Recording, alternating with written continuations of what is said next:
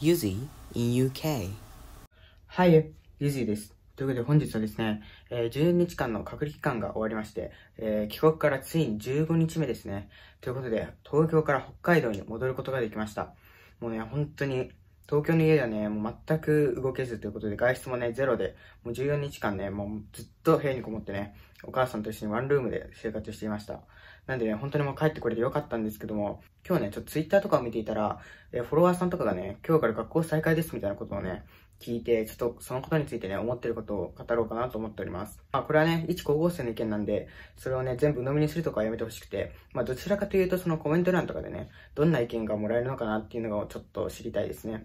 まあ、もしよければね、いろんな意見交換の場としてね、使っていただければ幸いです。まあ、こういう時だからこそね、まあ、こうやって発信を通して、まあ、皆さんとね、情報共有ができればいいなと思ってるんで、はい、ということでね、まあ、簡単に語っていきたいと思います。14日間の隔離期間中はですね、え僕は東京都内にいました。なんですけど、えっと、今日ですね、え北海道に向かう途中に、え外に出たんですね。そしたら、ものすごいその制服姿の高校生が結構、高校生だと思うんですけど、高校生ぐらいの子たちがね、学校に向かってたんですよ。で、あれ？と思ってなんでだろうと思ったんですけど、多分入学式とかかな？入学式ではないかもしれないんですけど、まあ、始業式とかだと思います。なんでね、多分高校はこれから学校が始まるのかなっていう感じでしたね。で、もしかしたら明日とかに、その緊急事態宣言が出てですね、高校開始がゴールデンウィーク明けまでね、伸びるかもしれないんですけども、やっぱりね、えー全国各地で、え学校再開に反対の声がね、上がっているということを聞いております。え学校ですね、今の時期に開始することに関して、僕はね、ちょっとあんまりよく思っていなくて、もともとね、僕はね、えこういう考えでした。っていうのも、えー Twitter とかね、YouTube のコミュニティ投稿にもこういうことを書いたんですけども、なんて言うんだろうな。まあ僕たちのこの16歳、まあ僕は16歳なんですけども、え周りのね、中学生と高校生、まあ大体10代かな。っていうのは多分かかっても、なんだろう、超重症になる。例えば、なんだろうな、命に関わる危険性だったりとか、まあ一生ね、何か重い障害を持ってしまう可能性があるだったりとか、まあそういうことはね、そういう可能性は他の方と比べて低いと思うんですよ。でもですね、そのウイルスを、えー家に持ち帰ってしまった時に、もしね、おじいちゃんおばあちゃんだったりとか、ご高齢の方とね、同居してる場合、その方たちはね、ものすごい高確率でね、重症化してしまうということで、もうそれだけはね、本当に避けたいというか、僕たちは大丈夫でも、その僕らの周りにいる方たちがね、ものすごい危ない状況になるのは本当に避けたいなと思っていました。今回こうやって、誰か一人でもかかってたら、それがですね、もうみんなに拡散されちゃって、で、それをね、家に持ち帰っちゃって、で、それがまた家族の中で広がってみたいなことが起きたらですね、もう本当になんて言うんだろうな、まあ、取り返しがつかないというか、大変な事態に、ね、なってしまいます。で、まあ、もともとその、と、もともとかな？わかんないんですけど、まあ僕らは、どっかで帰国したとか関わらず、えー自宅待機ということで、まあいろんな方がね、家に、えーここ数日は家にずっといたと思うんですけども、もし学校が始まるとね、もうそういうのも意味がなかったことになってしまいまして、でも本当にね、今別に収まってるわけじゃなくて、多分、これからどんどん増えていくんですね。っていうのも、まあニューヨークとかそういうところとかでもですね、最初は4人、6人とかでどんどんどんどん増えていって、60人、1400人とかですね、ものすごい急に増えることがあるんで、多分日本もね、その状況の途中にいるんだと思います。なんでね、なんて言うんだろう。日本が耐えてるというよりは、これから広まる可能性が高いって思われているのに、なんで今この状況でね、そういうことをやるのかっていうことがちょっと不思議ですね。で、もう一つ見たのが、えっと入学式を行っている、えー学校がね、ツイッターで流れてきて、これに関して本当にびっくりしましたね。で、入学式って式じゃないですか。式って、なんて言うんだろうな。まあ、それぞれね、考えはあると思うんですけど、僕の考えとしては別にいつやってもいいと思ってて、5月の末かな？から始まるんだったら別にその時にすればいいと思うし、わざわざね、なんかこういう写真見たんですよ。席がね、ちょっとずつね、空いてるんですよ。それで、なんか一人一人マスクしてて、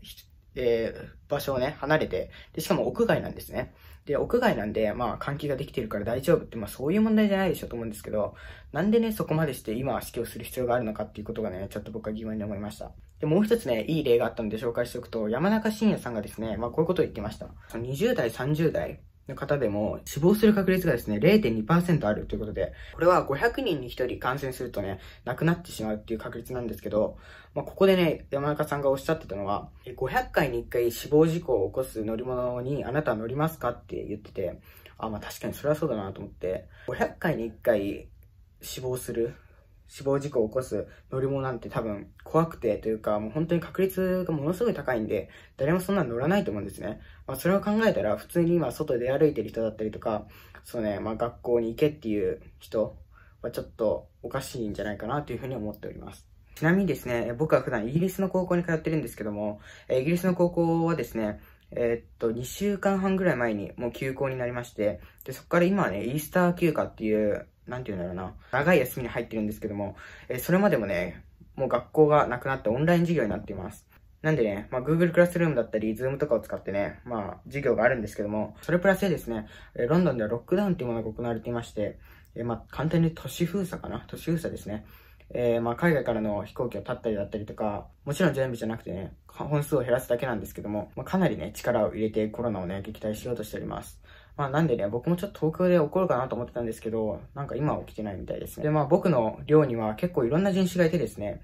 えー、イギリス人の方々がね、まあ、半分以上占めてるんですけども、その他にもね、中、香港人の方だったり、中国人の方だったり、えー、まあ、日本からはね、僕一人なんですけども、他にもですね、タイだったり、ドイツとか、まあ、まあ、結構ね、いろんなところが来ております。でもね、もう全員家に帰ってみたいですね。休校がね、終わる期間っていうのがまだ決まってなくて、もしかしたらね、来年、来年というか新ターム、新学期が始まる9月からになる可能性が高いです。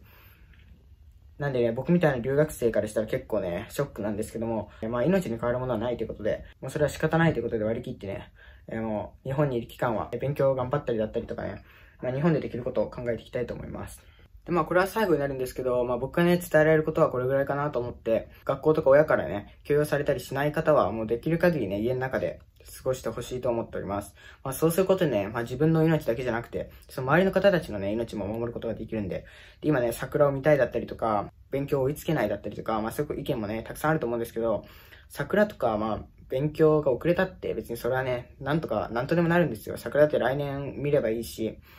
勉強だってね、頑張れば全然いけるし、その勉強が遅れたからって死ぬわけじゃないし、で、もしコロナにかかって、それがね、周りの人たちに移したりしたら、命のね、危険も出てくるわけで、もしかしたら自分が亡くなってしまうかもしれないっていうことをね、ちゃんと考えて、できる限りね、外出は控えてほしいと思っております。もう一回になるんですけども、まあ、たくさんの意見がね、あると思うんで、これをね、なんて言うんだろうな、全部鵜呑みにせずに、ちゃんとね、自分で考えて行動してください。まあ、いろんな意見もね、聞けると思うんで、ぜひコメントでよろしくお願いします。ということで、今回この辺で。バイバイ。